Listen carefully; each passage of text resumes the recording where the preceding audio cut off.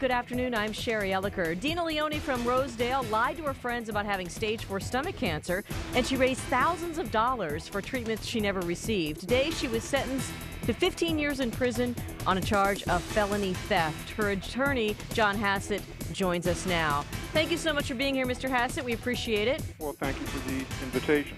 Um, this is in the Baltimore Sun. It says, in a tearful apology to the court, uh, Leone said, I didn't know I had a problem until this came up. It's not easy for me because I di- don't know right from wrong all the time. I just need a chance. What was your defense of her, and what did she mean by that statement? Well, first of all, I was hired in the case after she had pleaded guilty. So my involvement in the case was to represent her at sentencing. Um, in terms of defending her at sentencing, really what I was trying to do is mitigate the sentence as much as possible. You could tell as soon as you got in the case that the sentence was going to be severe. Uh, unfortunately for Dina, her plea negotiations um, had no cap as to the sentence. Judge Turnbull was free to impose whatever sentence he wanted, including the maximum. My whole thought process in the case was simply to get her psychological treatment that was supported by the evaluation done by the court medical staff and some doctors that I had consulted with. And if there's any silver lining in this case, it's that Judge Turnbull agreed with me about the need for psych- psychiatric treatment, and he's actually made her eligible and referred her to Patuxent. Was she surprised at the sentence? You said you, you, you indicate that you weren't because you knew it was going to be harsh when you got in there. Was she surprised at, at, at 15 years? I think so.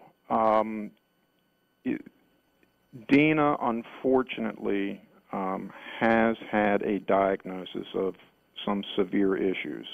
And I think that she's competent. She understands what's going on. She understands her right to a trial and things of that nature but really her ability to process things is is pretty limited. Um, as best I could, I tried to make sure that she was grounded in reality. Um, I think she was hoping for the best, but her family was well prepared for the sentence. And she's also facing some other charges, uh, Mr. Hassett, on a mortgage scam. Are you defending her in Carroll County on that? I am. That's actually a violation of probation. She was convicted in that case a number of years ago. Um, she is scheduled for the violation on November 9th. The basis of the violation is she pled guilty in the county, Baltimore County's case. So it's a subsequent conviction. How will this impact that case? Um, Judge Galloway in Carroll County will make his own decision. He will be independent of what Judge Turnbull decided. Uh, I am hoping that I am lucky enough to be able to persuade him to do a sentence consistent with Judge Turnbull's. And the main thing, again, is getting a court referral to Patuxent. I think that's pretty essential for uh, any future Dina may have. Otherwise, she does face another 10 years in prison should she get the, the full amount on, on the mortgage uh, problem. You're, you are absolutely uh, correct with that. She could face 10 years consecutive to the 15 years. And will you appeal on, on this one? No, you really don't have grounds to appeal. Um, the only thing that you could challenge would be the judge's sentence. And in Maryland, you can only file an appeal on the sentence if it's illegal. If it exceeds the maximum, it did not exceed the maximum. And the only other grounds to file an appeal with a sentence would be if the judge was motivated by ill will. And I'm, I'm absolutely positive Judge Turnbull was not motivated by any improper considerations. She has two things that she can do to reduce this sentence.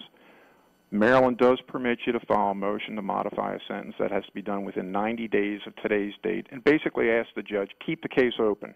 If there's a change in circumstances, maybe you can get the particular client back in front of the judge to reduce the sentence.